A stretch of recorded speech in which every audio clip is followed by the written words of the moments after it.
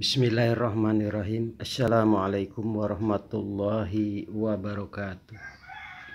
Alhamdulillah wa syukrulillah wa la hawla wa la quwata illa billah. Cara membuka mata batin yaitu dengan cara paksa. Ada sebagian orang yang menginginkan terbukanya mata batin tetapi sangat sulit. Ada yang gampang kalau dan gampang tidak jadi masalah dalam waktu tidak lama pun bisa kebuka. Tetapi bagi yang sulit sudah berbagai cara tidak bisa kebuka maka harus dipaksa. Cara pemaksaan membuka mata batin tata caranya yaitu tidak tidur selama tiga hari tiga malam. Saya ulangi lagi, tidak tidur selama tiga hari tiga malam. Nah, pas malam terakhir jam 12 sampai waktu subuh coba diwiridkan dengan konsentrasi dan tenang.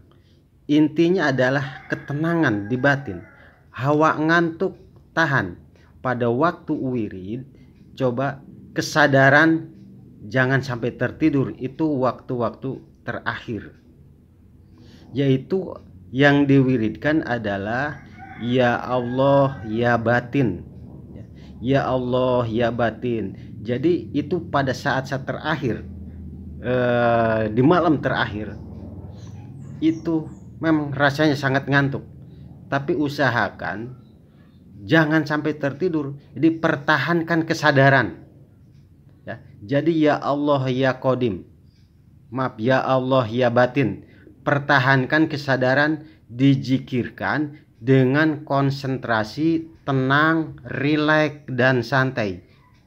Jadi pasrahkan kepada Yang Maha Kuasa. Mata terpejam, tapakur ya. Di saat-saat itulah malam-malam terakhir. Ya, itu nanti akan kebuka. Nanti kalau sudah kebuka atau walaupun hanya tanda-tandanya aja itu jangan Eh, dibiarkan begitu aja. Nanti akan ketutup lagi nanti akan sulit lagi untuk kebukanya.